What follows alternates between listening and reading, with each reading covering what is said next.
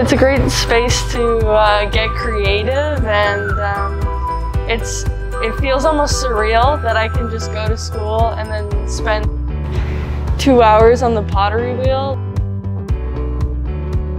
And it's always rewarding that once your work comes out of the urn, you just notice how much you've worked on it. Just a good sense of pride for yourself.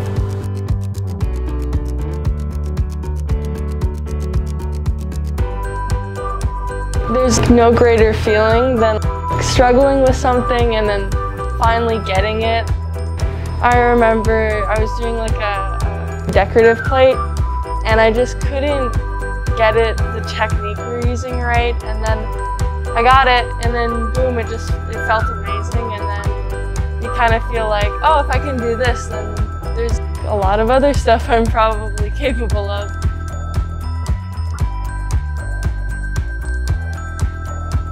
Hello and welcome to the Ceramics Studio. My name is Benjamin Oswald and I'm a ceramic artist and a teacher here at Ross Sheppard High School. The students here at Ross Sheppard High School can take Ceramics 15, 25 and 35 and that's at the grades 10, 11 and 12 levels.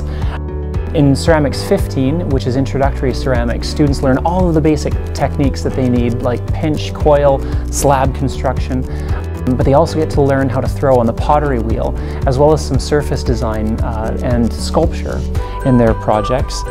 Uh, for Ceramics 25, the students get more advanced surface design as well as really get to investigate and, and practice throwing on the pottery wheel and they also begin to design their own projects and uh, you know their own final projects and they get specific dedicated time to begin thinking about how to build themselves as an artist.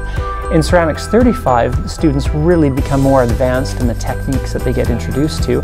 Ceramics techniques like slip casting, glaze construction, jewelry making with bone china.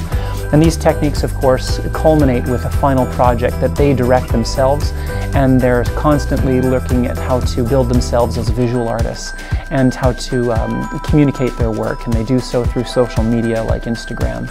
Uh, and uh, it's really an exciting uh, course and offerings that we have here at Ross Sheppard High School.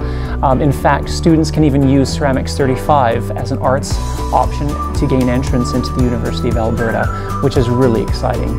Uh, so I'd like to welcome you to our studio and of course I hope that uh, we see you here taking ceramics at Ross Sheppard High School.